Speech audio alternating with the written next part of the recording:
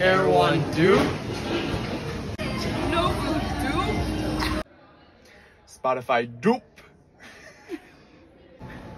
Emily Mariko dupe.